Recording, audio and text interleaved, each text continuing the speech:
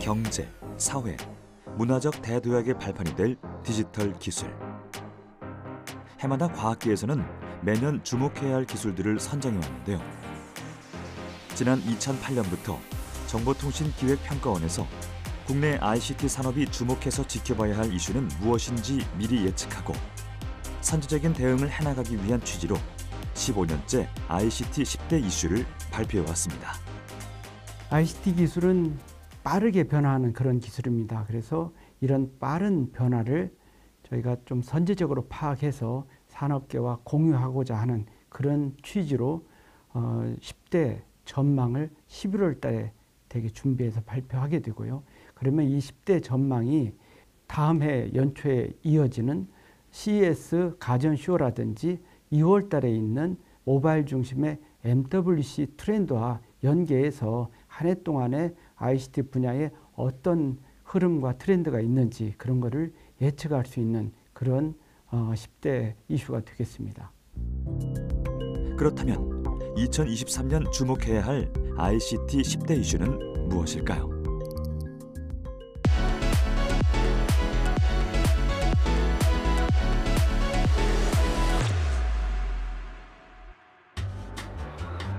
수많은 사람들이 오고 가는 경기도의 한 호텔. 사람들의 관심을 한 몸에 받고 있는 로봇이 있는데요.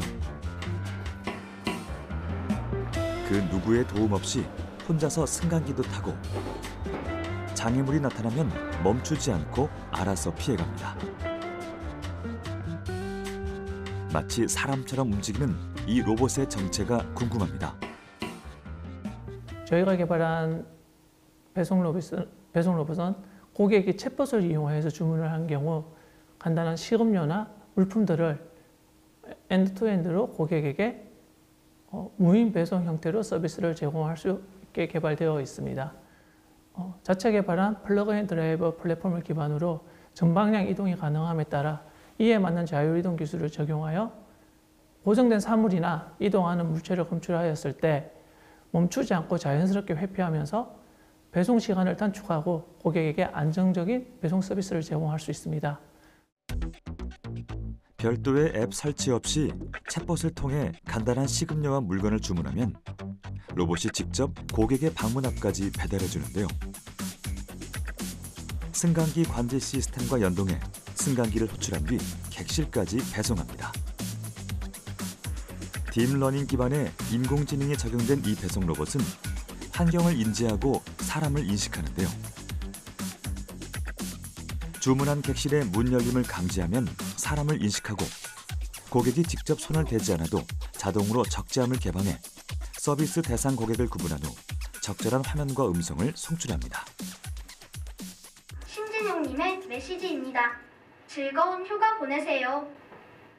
현재는 배송 로봇 기술이 하드웨어와 센서의 고도화, deep learning 기술에 기반한 인공지능 기술의 발달, 그리고 IoT 기술의 발달과 이와 더불어 전동화, 그리고 자율주행 기술이 성숙해짐에 따라 이제는 선행 연구, 검증 단계를 넘어서 실제 고객들에게 서비스를 제공할 수 있는 사업화 단계로 진입하였다고 생각하고 있습니다.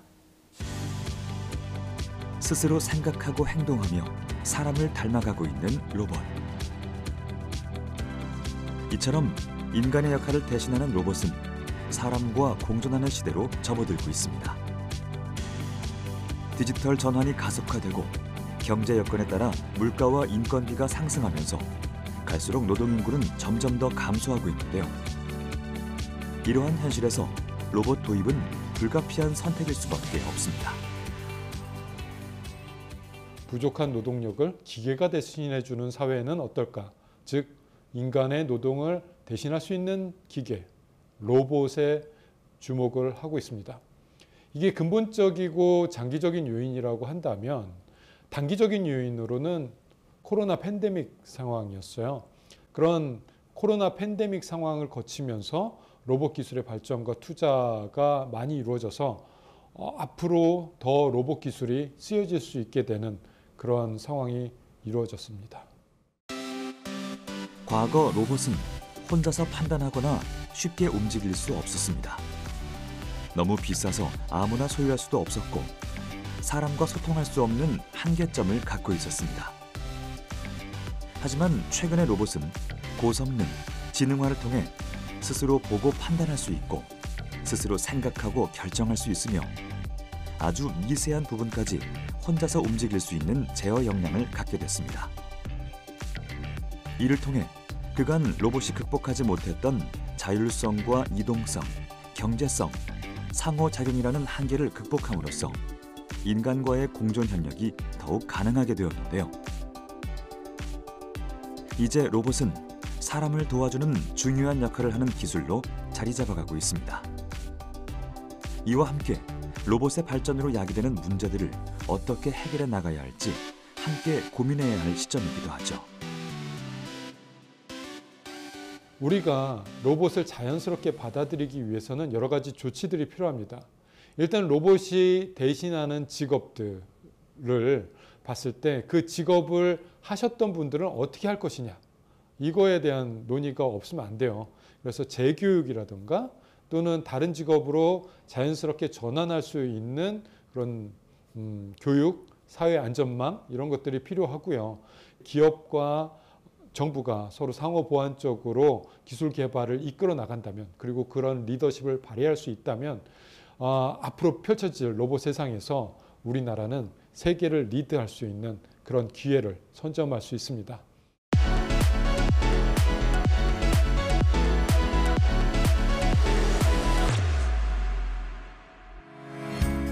대한민국은 지금 IT 강국을 넘어 인공지능 강국으로 도약하고 있는데요.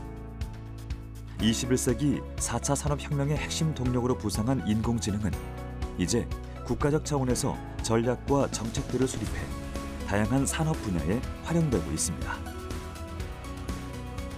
물류업계에선 인공지능 기반 스마트 공장 설치를, 제조와 중소기업에선 업종별 데이터 플랫폼을 구축하는 데 활용하고 있으며 최근엔 문화 콘텐츠와 국방 산업에도 인공지능을 활용하는 곳이 늘고 있는데요.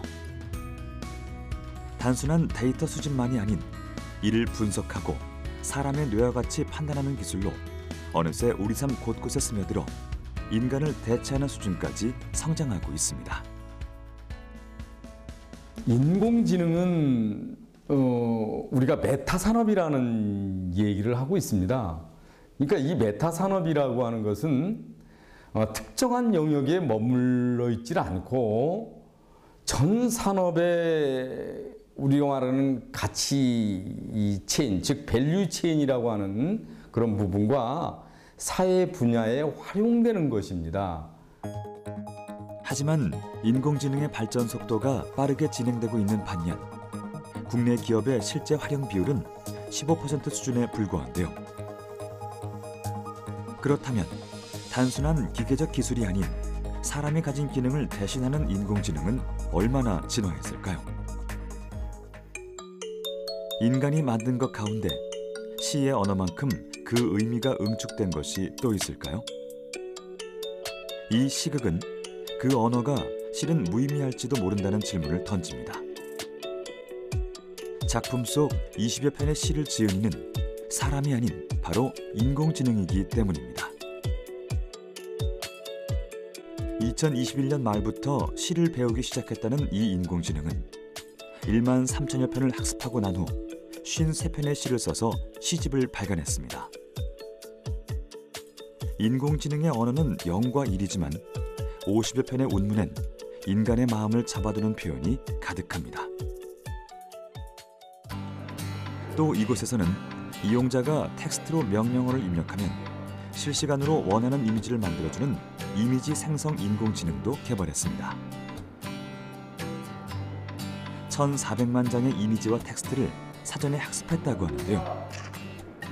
텍스트를 이해하고 이미지를 인식해 수많은 데이터를 확인한 후 사용자가 원하는 그림을 그려주는 인공지능. 이렇듯 인공지능은 이제 인간의 고유 영역으로 여겼던 예술 분야까지 진출하고 있습니다. 기본적으로 AI라고 하면 음, 단순 반복 작업이나 혹은 어, 주어진 업무를 잘 수행하는 것으로 이해를 하고 있는데요. 어, 실질적으로 최근에 관심, 최근에 어, 주목받고 있는 기술들은 시를 쓴다거나 혹은 그림을 그린다거나 이런 창작 분야까지 넓어지고 있습니다. 거의 모든 분야에서 AI가 활용될 것으로 생각되고 있고요. 어, 그러다 보면 이제 AI가 없이 무언가 만들어지거나 이러기는 쉽지 않은 시대가 오지 않을까라고 생각을 하고 있고 어, 이런 AI를 활용한 모든 모든 분야에서 AI를 활용해서 더 많은 어, 시너지와 결과물을 만들 수 있지 않을까라고 생각하고 있습니다. 수많은 데이터를 스스로 학습해 인간처럼 생각하고 판단하는 차세대 인공지능. 이 초거대 인공지능은 현대 미술뿐만 아니라 의료 분야 등 다양한 분야에도 활용되고 있는데요. 특히 인공지능의 확산을 가로막는 가장 큰 걸림돌인 신뢰성의 문제도 주목할 분야입니다.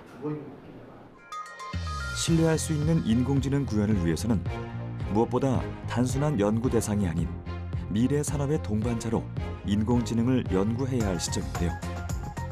때문에 글로벌 경쟁에서 뒤처지지 않기 위한 보다 철저한 대비가 필요합니다.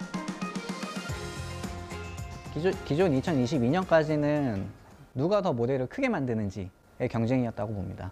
그래서 어, 모델을 더 키우면 성능이 좋아진다라는 것을 이미 밝혀졌고 그러면 이제 누가 더 큰 모델을 학습할 수 있는가 누가 더 큰 모델을 학습할 만큼 데이터를 확보했는가 혹은 그만한 인프라를 갖추었는가 이게 경쟁적이 이것이 경쟁이었다라고 하면 2023년부터는 어, 모델 사이즈나 혹은 데이터나 인프라를 가장 효율적으로 활용해서 적절한 규모에서 어, 어떻게 하면 더 활용 가치가 높은 모델을 만들 수 있는가가 어, 2023년에 주목받는 연구들이 되지 않을까라고 생각하고 있습니다.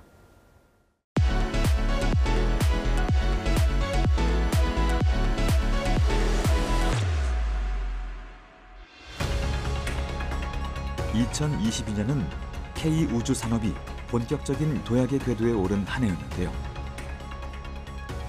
1992년에 한국 최초의 인공위성 우리별 1호가 하늘로 발사된 후 30년이 지난 2022년 우리 기술로 만든 발사체 누리호가 우주를 향해 날아갔습니다. 특히 한국의 첫 달 궤도선인 다누리가 달 임무 궤도 진입에 성공하면서 7대 우주 강국으로 도약하는 쾌거를 이루며 무한한 가능성을 지닌 우주를 향한 도전이 시작됐습니다. 발사체하고 위성 그리고 이제 지상 관제 시스템 이런 것들이 독립적으로 굉장히 중요한 의미를 지니고 있는데 그런 그 하드웨어 기술을 완성한 해다 이렇게 보면 될 것 같고요. 2023년에 우주 산업은 굉장히 폭발적 성장세가 지속될 거라고 예측을 합니다. 특히 이제 데이터를 활용하는 분야에서는 그런 일이 일어날 거라고 보는데 왜냐하면은 어 그 스타트업 회사들이 우주 데이터를 이용한 어떤 비즈니스 모델의 그 수익 가능성이 이제 확인된 되었기 때문에 이제 그걸 바탕으로 해서 본격적인 비즈니스 모델들이 나올 거라고 봅니다. 우주라는 공간은 이제 상상이 아닌 현실이라는 공간으로 다가오고 있습니다. 과학과 탐사의 영역이 아닌 산업적인 영역으로 그 범위가 확장되면서 주목해야 할 것이 바로 우주 데이터입니다. 흔히 우주 개발하면 발사체를 떠올리지만 우주 산업 시장에서 발사체가 차지하는 비중은 불과 6%. 위성을 띄워 관리하고 여기에서 나오는 데이터를 활용하는 분야가 무려 70% 이상을 차지합니다. 특히 4차 산업혁명 시대 위성에서 얻은 정보가 고부가 가치를 창출하는 중요한 빅데이터로 활용되면서 우주에서 바라보는 지구 데이터, 우주에서 생산되는 우주 데이터의 활용이 무엇보다 중요해졌습니다. 사실은 우리가 얘기하고 있는 빅데이터나 뭐 I, IoT 이런 것들의 최상위의 개념이 우주 데이터거든요. 근데 사, 사실은 지금까지는 그런 데이터들에 대해서 주목을 안 했었는데 이제 그, 그 New Space 시대에 그런 데이터들을 주목하기 시작해서 활용하는 방안들이 막 열리기 시작을 했습니다. 그래서 그냥 단순하게 무슨 뭐 그 통신 데이터라든가 아니면 어떤 뭐 상권의 변화라든가 이런 게 아니라 지구 전체를 대상으로 하는 데이터 혹은 우주 전체를 대상으로 하는 데이터이기 때문에 우리가 어떤 아이디어를 가지고 어떤 창조적인 생각을 갖고 들어가느냐에 따라서 결과가 어마어마하게 달라질 수 있다라고 보거든요. 실제 글로벌 컨설팅 기업에 따르면 전 세계 우주 산업 시장 규모는 지난 2020년 3,873억 달러에서 오는 2040년 1조 달러에 육박할 것으로 전망하고 있습니다. 특히 우주 산업은 고비용과 고위험을 동반한다는 점에서 공공기관과 기업, 기업과 기업 간의 협력은 필수적인데요. 이런 협력을 연결해 줄 수 있는 매개체로 New Space 중심의 우주 소프트웨어가 주목받고 있습니다. Old Space에서 New Space로 전환되면서 국가의 자존심과 국가 안보의 경쟁으로 여겨졌던 우주 산업에 정부가 아닌 민간 기업의 투자가 늘어나고 있는데요. 로켓 개발과 초소형 위성 제작, 여기에 지상국 구축을 통해 위성 데이터 서비스를 제공하는 스타트업이 등장하는 등 많은 투자가 이어지고 있는 2023년. 국내 우주 산업 역시 뉴 스페이스 시대로 한 걸음 더 성장하는 해가 되길 기대해 봅니다.